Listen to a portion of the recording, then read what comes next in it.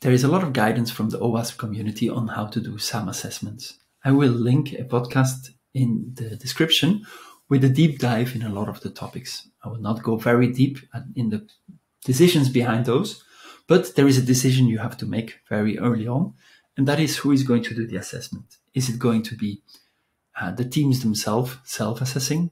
Is it going to be a central person in the organization or a central security team that is assessing the different teams or business units? Or is it going to be an, an external assessor that comes in and, and assesses the different teams or business units? By default, this is set up so that the teams assess themselves, but you can, of course, uh, change these settings. So uh, I have started filling out an assessment here. On the left side, you have the business functions. Then here you have the different streams. And here you have the three relevant questions for the three maturity levels. Let's grab one that isn't filled out yet. Here, policy and compliance. And I can start answering the question. Do you have and apply a common set of policies and standards throughout the organization? Yes, for most of all applications in my case. I fill out these questions and then I can uh, finalize the evaluation and submit for validation. If you're wondering what this uh, icon is, this is the target uh, answer, which uh, has been set by the target posture uh, an organization may set target posture for the different kinds of uh, teams and business units, which then becomes like a, a goal or a, a policy to work towards. If you want to find out more about that, please check out uh, my videos on setting a target posture and comparing between teams and business units. Now, when I submit this for validation, this moves to the validation track. This may be the same team or this may be a different team. They then have to approve or reject uh, what has been submitted. The submission can come with some documentation, some explanation, some links to documents um, to demonstrate that uh, this level of maturity has really been achieved. If I press accept, then this has now passed the validation stage. And now we come into the improvement stage. This is to build roadmaps and to start your improvement process.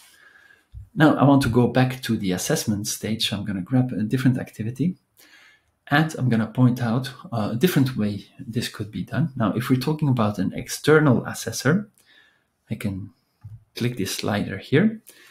And now I'm in an external assessing mode. This means that uh, there's no longer a assessment and a validation, but it is directly providing validated scores. So this will immediately count as validated scores and I can submit them right away. And then we're directly into the improvement track. There is another way in which uh, the validation may be omitted.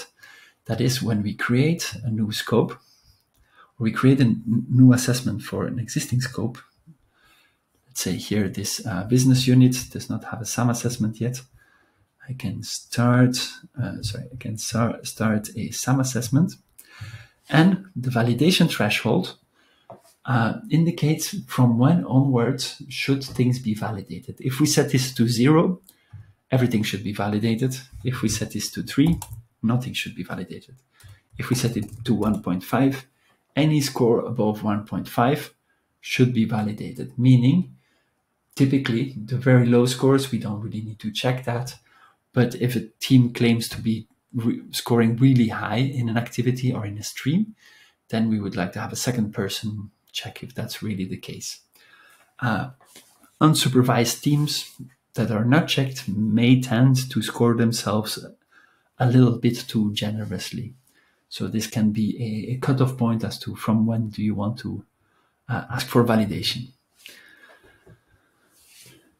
Hence, this is how you do the assessment. And if you go to the dashboard, the different tasks appear here in the different uh, tracks. So the evaluation track is what I was doing, then the validation track, if, if it's relevant, and then the improvement track. For all of these activities, people can be assigned. So I could give this to Grastio, I could give, give to Mar- this to Mark, and I can give this to Nicolas.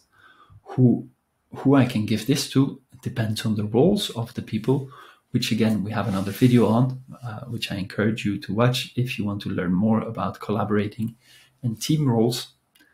And this is the essence of how you do SAMM assessments with SAMMY.